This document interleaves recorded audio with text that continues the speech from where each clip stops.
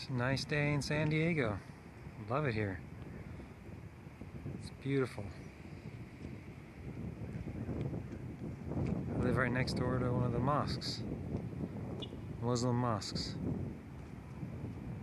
Hope nothing happens.